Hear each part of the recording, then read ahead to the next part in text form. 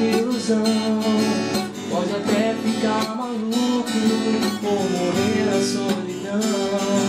É preciso ter cuidado Pra mais tarde não sofrer. É preciso saber viver. Toda pedra no caminho Você pode retirar Você pode se arranhar